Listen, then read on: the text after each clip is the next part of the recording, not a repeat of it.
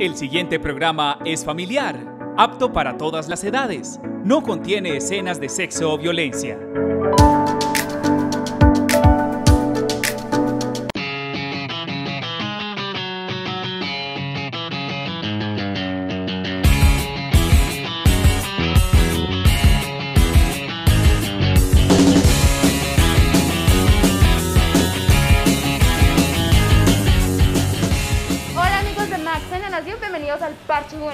Y ustedes muchachos. Hola, ¿cómo están? ¿Qué más? ¿Cómo les ha ido? Cuéntenme. Hola Sora, ¿qué más? Hola. Hola Salo. Súper bien y bienvenidos a un nuevo capítulo donde estamos recargados de muchas sorpresas, invitados súper especiales y sobre todo con cosas muy novedosas y educativas para todos. Claro que sí, Salo, claro que sí, Sora. Y por supuesto, les mando un saludo bien, bien, bien especial a los que nos ven por allá al otro lado de la pantalla. En serio, cada vez para nosotros es un placer maravilloso estar con ustedes, compartir y enseñarles un montón de cosas y también hablar de tendencias, noticias, tecnología y todo lo que pasa en temas de juventud en Támesis y en el mundo. Ya saben que nos pueden seguir en nuestras redes sociales, Facebook, Twitter e Instagram como Tamesis TV, también por el canal 8. Claro que sí. Y en nuestro canal de YouTube como Tames TV. Así es. Y por supuesto también en nuestra página web www.tamesistv.co. Así No que se. Eso, no se despeguen que ahí vienen muchos temas cargados de mucha energía, así como estamos hoy, llenos de energía.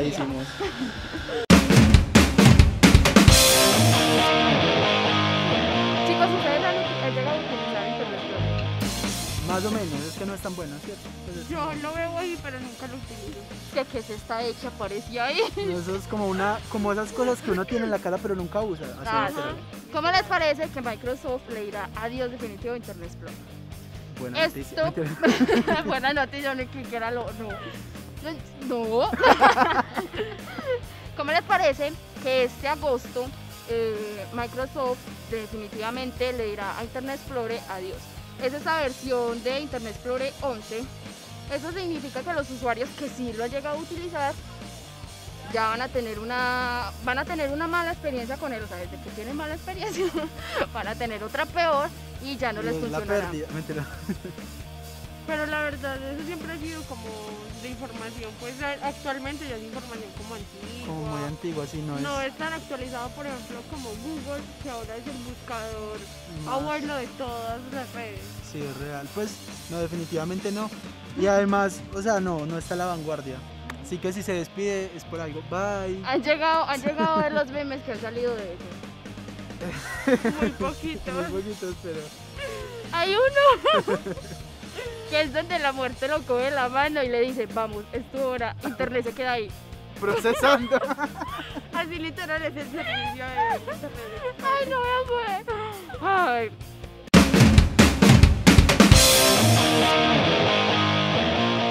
Bueno, la oportunidad ahora es para hablar de las videollamadas, ¿cierto? Pero las videollamadas en todos los contextos, ¿a qué me refiero? Resulta que obviamente como estamos en tiempo de cuarentena y todo este tipo de cosas, las videollamadas se están prestando prácticamente para todo.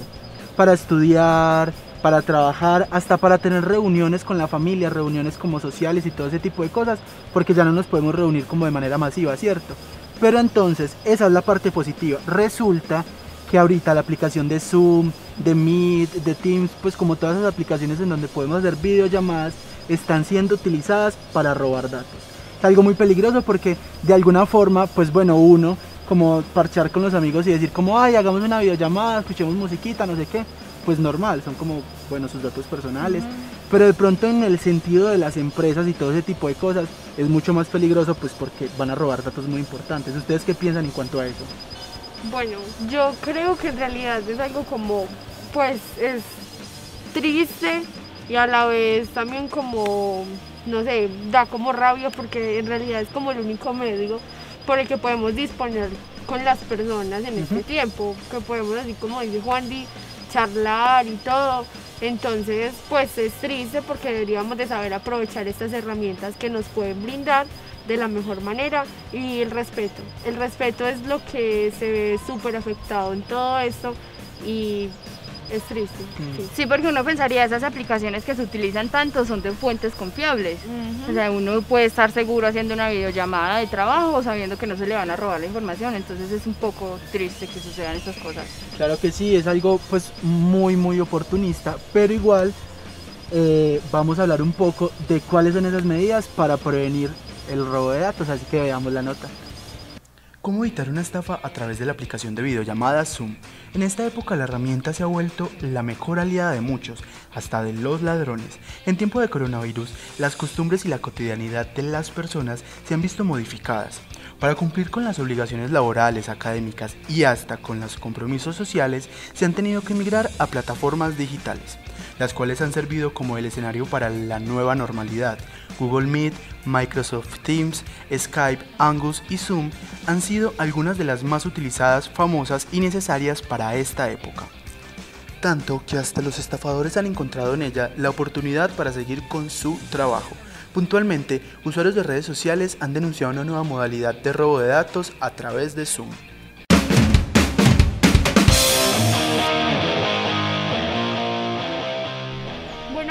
Y hoy en nuestra sección de Leeme les traemos unos recomendados especiales para todos los que están empezando en este cuento de la lectura, los que en realidad son muy apasionados. Entonces, el primero es Buscando Alaska de John Green. Este es un libro un poco romántico, eh, tiene melancolía y es un libro que tiene una historia genial para brindarnos a todos.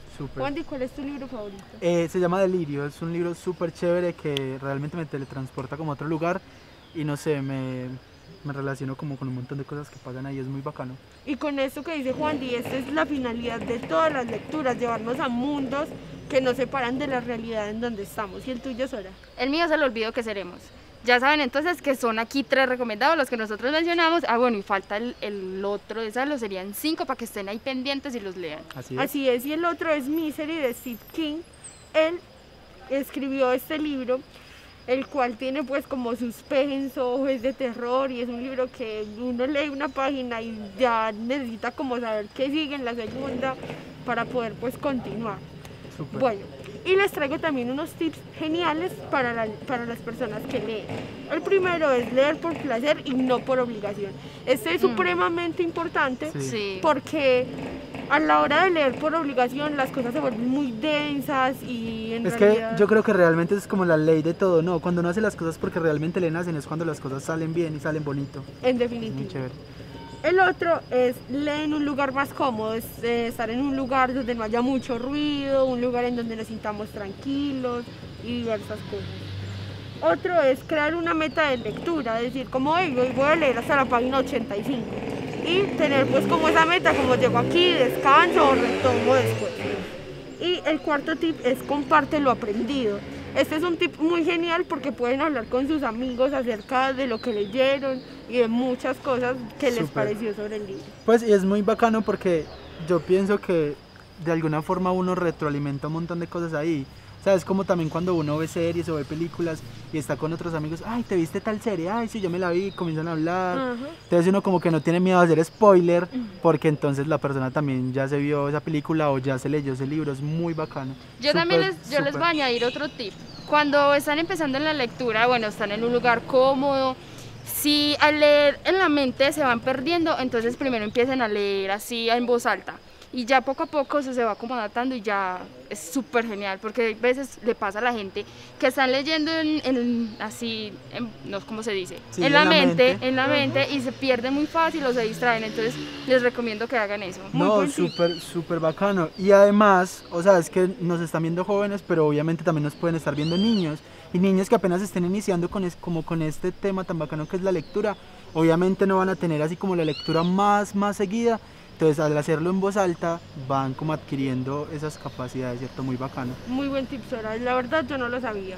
Amigos, y si quieren muchos más tips que nos aporten a la hora de la lectura, no se despeguen en un próximo capítulo que continuaremos con esto.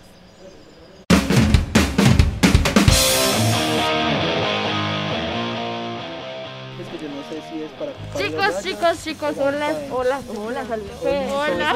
Por acá, me fui a robar esto por allí, unas maticas tengan, cada uno lo voy a dar. Gracias. Para que ahorita hagamos un. Instagram Reels. Les cuento para las personas que no saben qué es. Este es un nuevo formato de Instagram que permite a todos los usuarios este, compartir videos como cortos de 15 segundos. Pueden editarlos de muchas formas. Es casi un TikTok, pero en Instagram. Entonces, Oh. para que tengan en cuenta, hay muchas formas. Eso se encuentra en, en la parte donde es explorar. Ahí encuentra todos los reels que, que publica la gente. Y también a la hora de, de- pues, de añadir fotos y todo eso, ahí encuentran la parte para que ustedes puedan agregar su pez. Entonces, muchachos, para que lo hagamos ahorita. Súper, yo me le mido.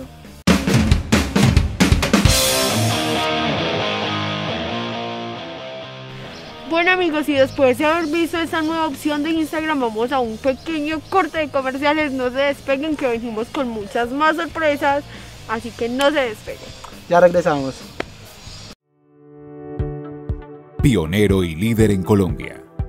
Hacer las cosas con excelencia es poner pasión en todo lo que se hace, con el amor necesario para garantizar el éxito deseado y generar los logros y las metas más anheladas. Támesis y su empresa de medios reúnen todo el amor solidario posible en un propósito común para tener en su haber una verdadera empresa comunitaria que con sus grandes logros se convierte en un referente nacional, pionera y líder en Colombia, con su integridad de productos y servicios al servicio de todo un pueblo y de toda la región. Ser únicos y líderes representa la vocación de todo un pueblo que mira su porvenir con ojos futuristas de progreso y de emprendimiento para garantizar que sus valores más preciados tengan permanencia en el tiempo y puedan contarlo y heredarlo a sus futuras generaciones. Nuestro sistema comunitario de medios, único en Colombia, ganador del premio India Catalina a Mejor Producción de Canal Comunitario 2019.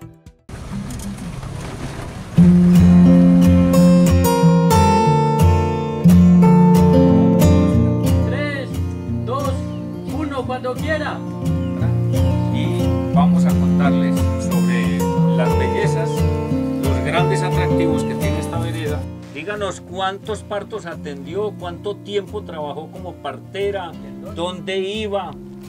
Virgen del Carmen, no, pues es que mejor dicho. Más de 300 personas.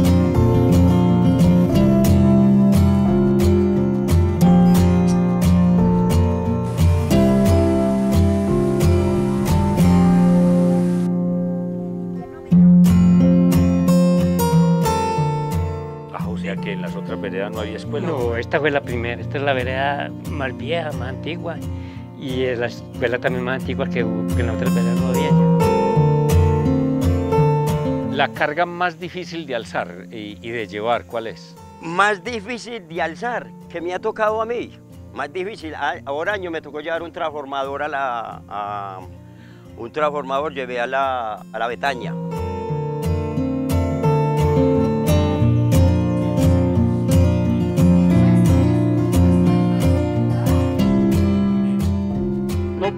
Vuelvan más nunca a cruzar mi camino, así evitaremos los dos un dolor. Hombre, qué bien, excelente, don Jesús.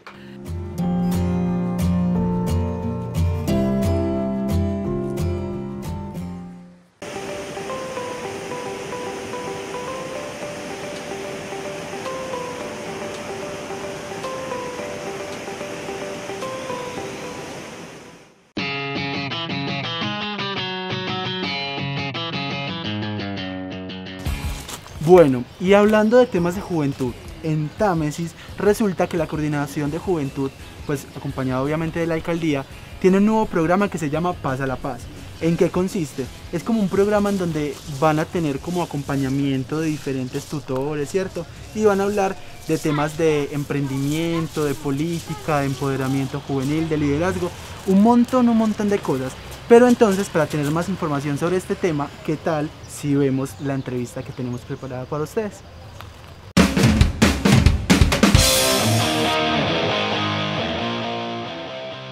Hola amigos de Max Generación, y así es, Pasa la Paz es un programa que llega a Támesis, un programa que está liderado por YMCA y acompañado por la Secretaría de la Mujer y Bienestar Social desde la Coordinación de Juventudes. Fue una alianza que se hizo y eso buscando pues como crear nuevos espacios para los jóvenes y las jóvenes de, nuestro municipio. Eh, Pasa la Paz es un programa que trata como de potenciar esos liderazgos y potenciar muchas habilidades de nosotros los y las jóvenes en el territorio. Son temas que se empiezan a hablar desde convivencia y paz, desde participación ciudadana como para entender el poder que tenemos nosotros como jóvenes y la injerencia que tenemos en las decisiones que se toman acá. Y aparte de eso también temas de emprendimiento, de manejo de emociones, de pues como de lidiar con todas esas cosas que día a día todos los jóvenes nos van atosigando. Entonces es un programa que va a ser desde la virtualidad, es de aclarar, pues debido a esta pandemia el grupo de Paz a la Paz de la YMCA no puede venir a nuestro municipio tan seguido. Entonces desde la virtualidad vamos a estar viéndonos con ellos, vamos a encontrar el equipo de Támesis presencialmente y ellos por medio de un computador de videollamada nos van dando instrucciones. Entonces es una invitación para que se inscriban, pues aquí abajo van a aparecer mi número, mi número de contacto para que me hablen por WhatsApp o me llamen por si quieren más información, por si se quieren inscribir. Vamos a iniciar el viernes, eh, entonces van a ser todos los viernes a las 4 de la tarde eh, estos encuentros. Espero pues que se animen, que inviten a sus familiares, a sus amigos, a sus amigas y que les hablen de paz a la paz, porque es un programa que sé que nos va a ayudar demasiado para potenciarnos como jóvenes líderes y nos va a ayudar para nuestro crecimiento personal. Entonces a la invitación, de nuevo aquí va a aparecer mi número de contacto para que se comuniquen conmigo y yo les voy a dar mucha información, lo que necesiten. Además quiero aprovechar como porque con la YMCA también trae un preuniversitario para los jóvenes, es muy accesible, tiene un valor pues muy bajo, entonces por si desean inscribirse también les puedo dar la información.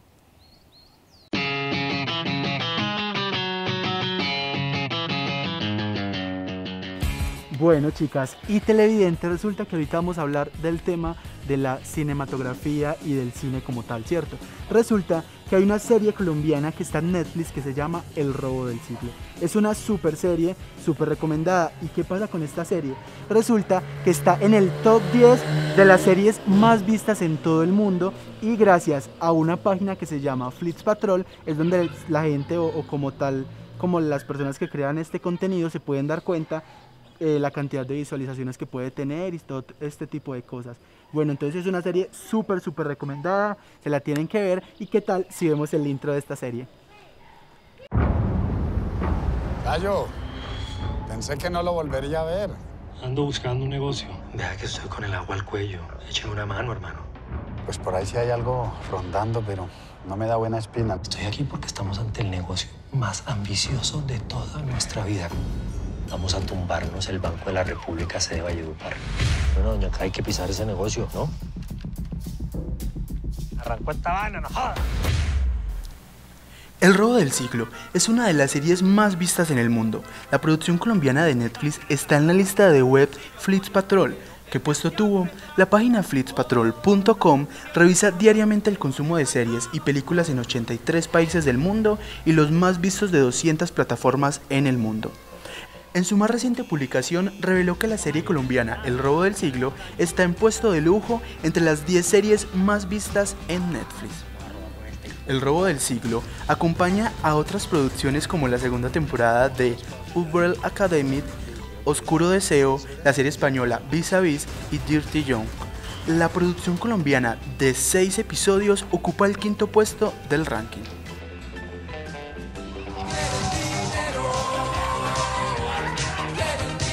Luz verde. Hágale, Chayo, salga.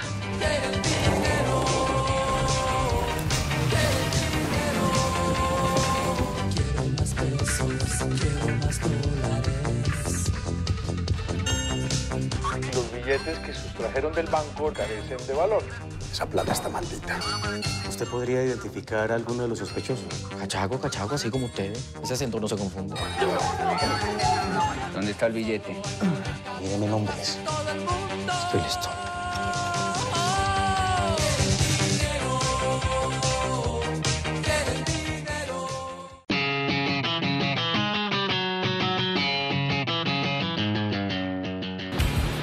Bueno chicos, y como lo prometido es deuda, les dijimos al inicio que teníamos una invitada muy especial para ustedes. ella es mi alma y corazón. Es una chica súper, súper talentosa que tiene una voz impresionante que literal eriza. Entonces, ahora vamos a ver la entrevista donde ella nos cuenta un poco de cómo comenzó su carrera y todo esto, que es una pasión para ella, no algo por hacer así, sino que en realidad es algo que le gusta. Vamos a verla.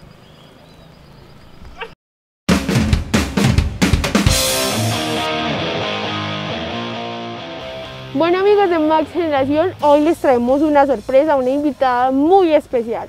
Estamos con Mía, Alma y Corazón. Mía, cuéntanos cuántos años tienes.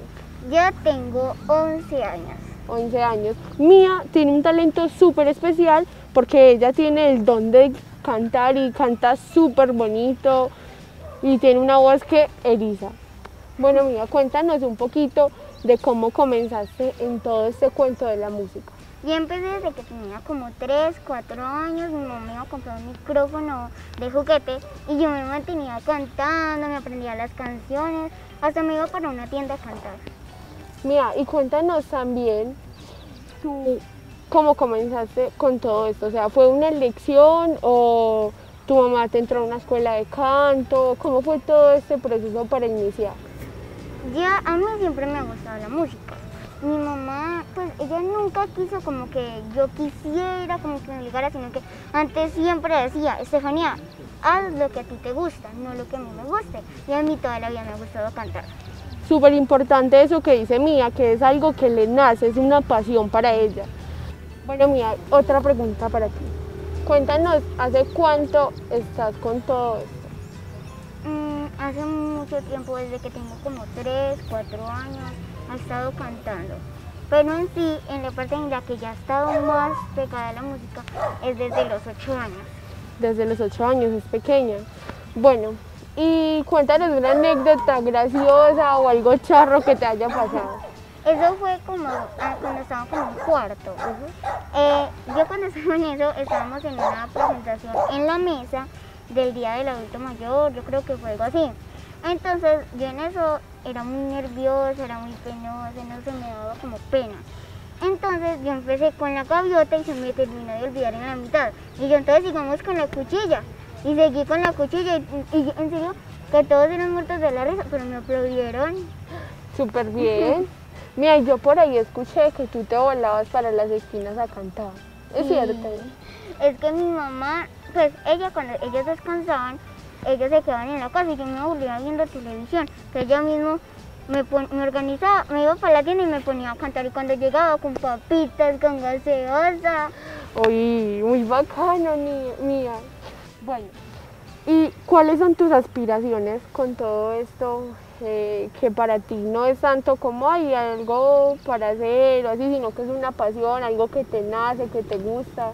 ¿Cuáles son tus aspiraciones?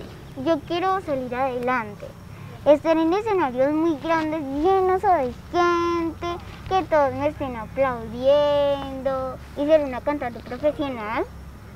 Súper bien, ¿y cuáles son tus géneros favoritos o por los que más te inclinas?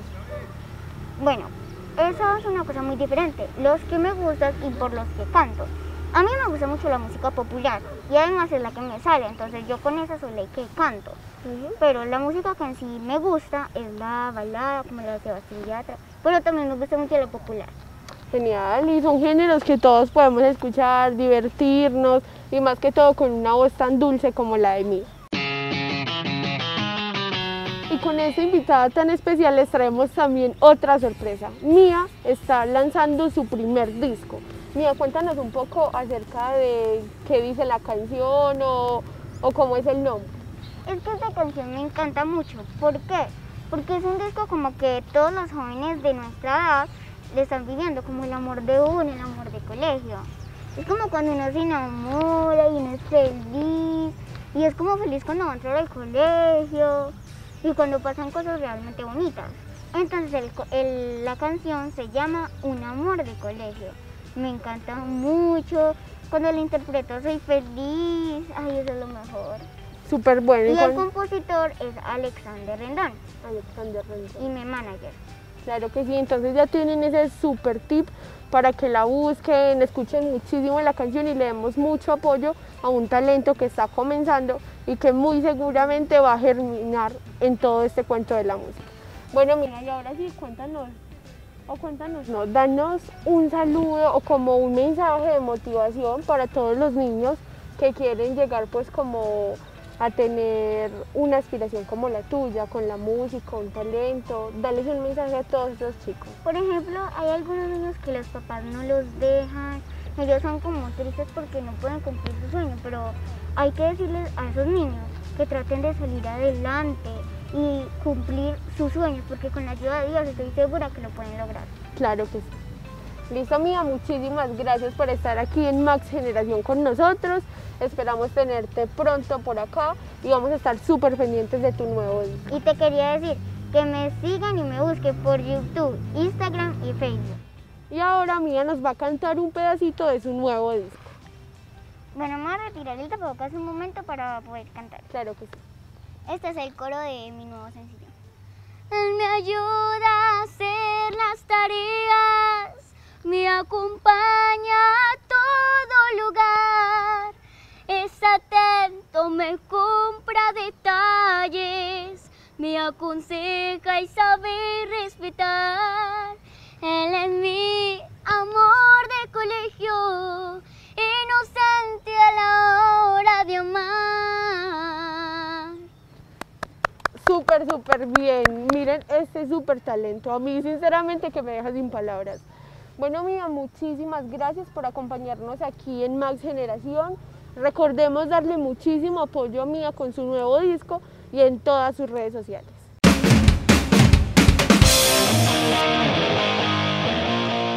Bueno amigos, llegó la hora del reto. ¿Están preparados? Siempre. Se deben estar preguntando por qué tengo esta silla. Porque está cansada. también, también por eso. Pero bueno, les voy a explicar de- en qué consiste el reto. El reto consiste en, bueno, la pared y la silla se llama. es entonces pararnos así, dar dos, tres pasos, tres pasos, perdón, hacia atrás, entonces sería uno, dos y el tercero aquí derecho. Agachar la cabeza hasta la pared y poner la silla en la mitad, así. Y después alzarla. Y lograr levantarse. Fácil. Ahora, chicos, yo voy a intentar. Es muy fácil, fácil, lo vamos a ver. Ay, no. Hágale, chicos, que es fácil.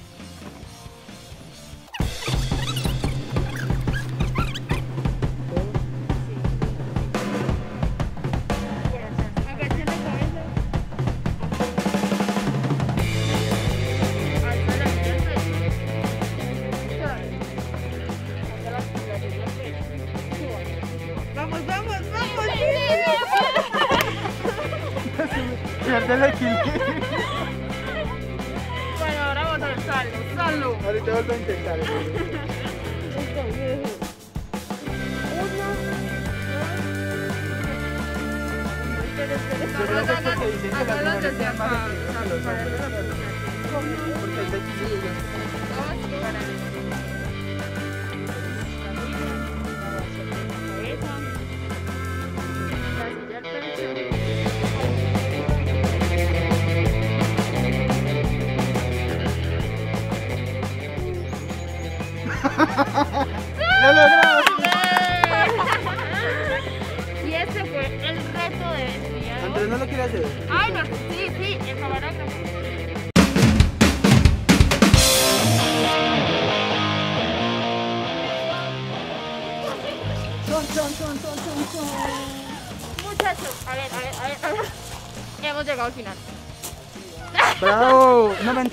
Qué triste que hemos llegado al final de este programa. Yo estaba tan contento, en serio, estaba con la mejor energía.